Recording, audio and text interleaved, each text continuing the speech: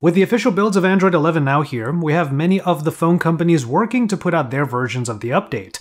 If you haven't seen my stock Android 11 overview yet, you can check it out in the links above and below. After all, a good amount of what Google is baking into Android at the base level will be present in other OEM editions.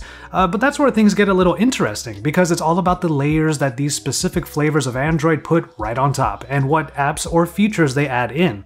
So in this video, we're going to look at Oppo's edition of Android 11, Color OS, which has made the leap from version 7 to version 11 to fall in line with Google's latest. Hey, it's Joshua Vergara. What's going on, everybody? Here are some thoughts and an overview of Color OS on the Oppo Find X2 Pro. Now before I get started, shouts out to Oppo for sponsoring this overview of the new OS. I am going to go through some of the features of Color OS that are added on top of the Android 11 experience, and there are some ways that they also stay consistent to Google's stock version. Oh, and one more thing. As this is Color OS, there are a couple of things that you might expect right out the gate. Uh, one of the main things that you get when you first power on an Oppo device and get into Color OS is, well, there's no app drawer. Don't worry, I went ahead and changed this pretty much immediately, and it's easy to find that setting. Tap and hold on the home screen to get a quick option to do things like adjust the grid, uh, swipe over, hit more, and then change the home screen mode. There, that's better. Uh, this is just one way of seeing how Color OS has come a long way, so let's go ahead and dive into more about version 11. So we're on the Find X2 Pro, which is one of the first phones that Oppo is rolling the update out to. So you can take this always on display as a little bit of a teaser of an upcoming feature, uh, but for now, let's jump into the display settings. Oppo have added a couple of extra options in key features like an adjustable dark mode. Now since this is an AMOLED display, it might seem like the darkest setting would be the best for benefits like better battery life, uh, but sometimes a high contrast with brighter elements is a bit jarring to the eyes, so it does make sense to try and include a couple of grayer, lighter options. From there we can move into the power menu, which in regular Android gives you access to toggles for smart switches and smart products. This is actually another nice way of showing off how a company's take on Android can add an extra layer or two, or at least a different look. There's a cool thing that Color OS 11 does, uh, as it puts a little slider right next to the power button after you hold that button for a little while. That allows you to do things like restart the phone or power down. But then all of the toggles that have been added to Android 11 for your smart appliances, smart bulbs, smart plugs, those all populate over on the left side. So the base code gives the options and Color OS 11 gives it a different look. Either way, it's pretty easy on the eyes and the functionality is the same, so I'll take that as a win. And you know what, while I'm at it, why don't I just demonstrate its usage real quick. I have my bedroom light here, and I'll just turn it up and set it to purple. Now there are features that interfaces like Color OS have prioritized in the past, but stock Android took its time with. A prime example is screen recording. Now Android 11 does have it, which is great, but it's a little bit bare bones in terms of options. Color OS, on the other hand, has had it for a while, and there are a few things that you can change for extra control. Settings like the resolution, the frame rate for your final video after recording, and bitrate quality are here, as well as an option to turn on the front-facing camera if you want to add yourself into the fun. Now that is something that you might be interested in doing if you are making things like gaming content. Speaking of gaming, ColorOS is no stranger to adding some cool features in while you're in the middle of a play session. Gamer mode is one of the layers to the game enhancement panel, which is a little tab that you can swipe over while playing. The main things that I wanted to highlight here are the bullet notifications, which are not to be confused with bubbles, which we'll talk about later.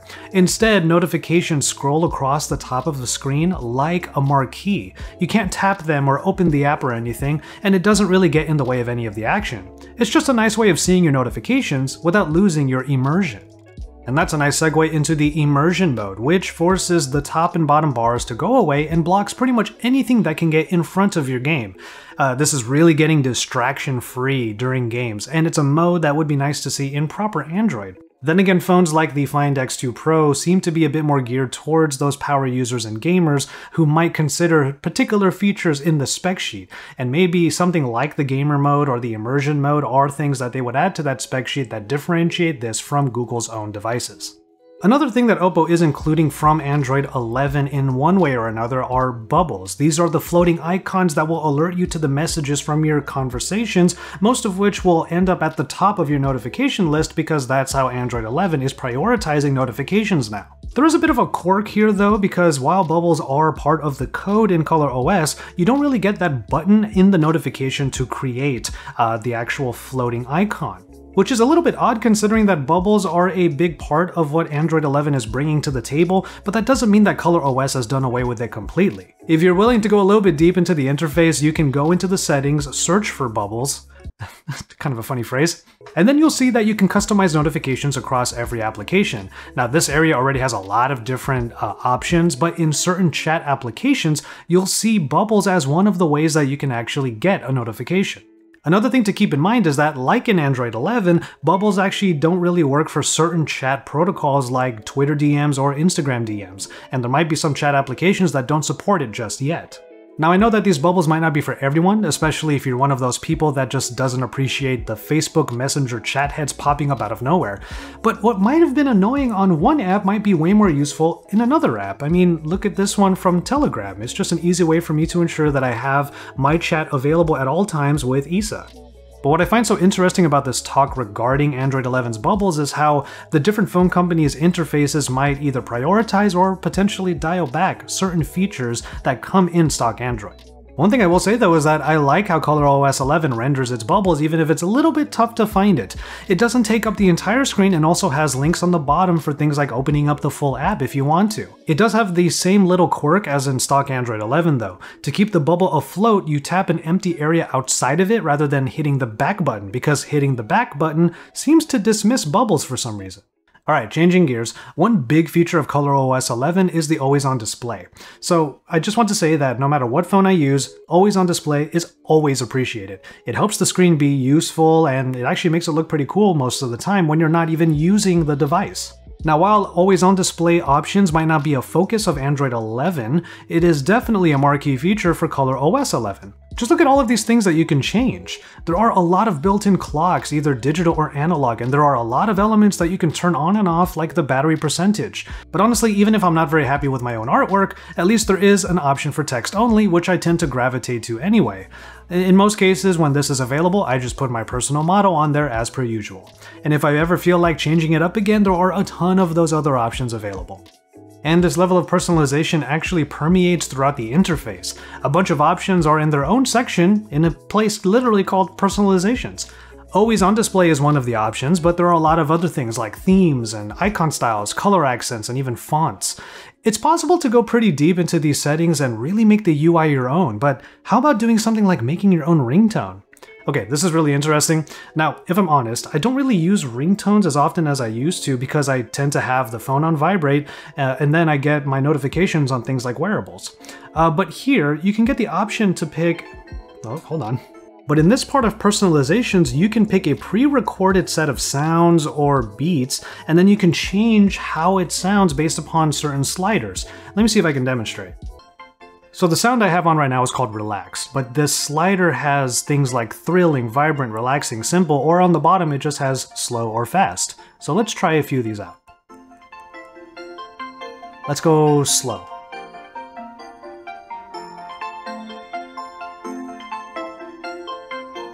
Maybe we'll go for something thrilling and vibrant. Now that's a change. Now let's try simple and relaxing. That's a big change. So these are all different moods and speeds that you can pick for a bunch of different pre-recorded or rather pre-installed sounds. Uh, and these are something that you can kind of mess with and you might make something completely unique and decide to use it as your ringtone. Now that Ringtone Maker does show up in personalizations, but it's also part of a suite of experimental features found in something called Oppo Lab. There are a few other things to play around with like edge lighting and a quick return bubble that shrinks certain apps like games so that you can easily get that accessible icon to get you back into the action. But the one that I thought was pretty cool was the decision spinner. We all have those moments when we can't decide uh, between a few different options on any given scenario. Well, you can use this little app to set them up and then it will randomly pick which thing to do. I actually think I might use this once in a while. And finally, the last thing that I wanted to highlight as an addition to the Android 11 features we are getting to know right now is an app that Oppo included called Oppo Relax. Now this is new, at least to me. It's kind of a simple sound app that can be geared towards things like focus. There are multiple soundscapes that you can choose from that are accompanied by looping graphics which run for a certain amount of time.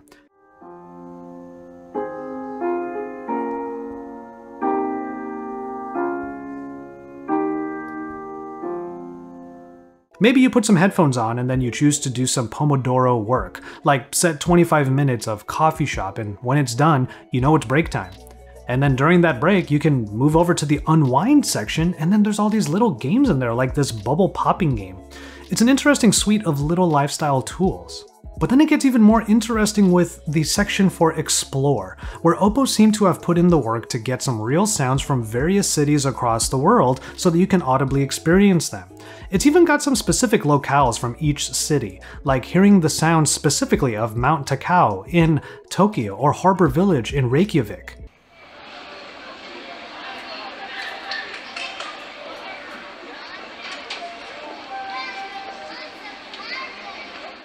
You know what? This is actually really interesting to see right now, especially at a time when we're not traveling to any of these destinations.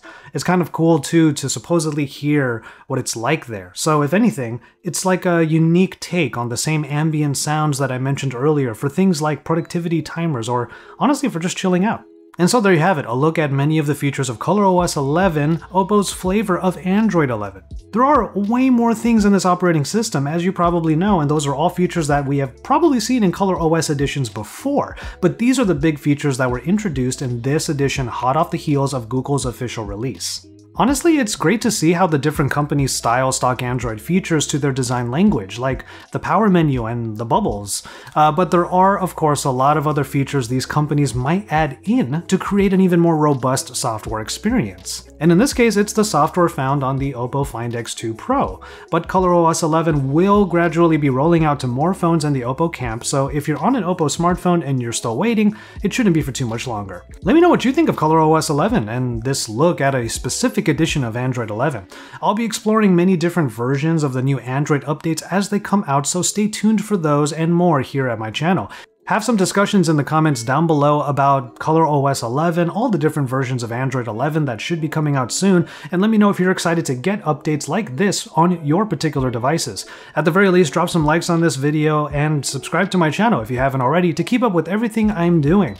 And with all of that said, I'm going to go ahead and call it on this one. Thank you so much for watching. Please take care of yourselves and each other, and enjoy your tea, everybody.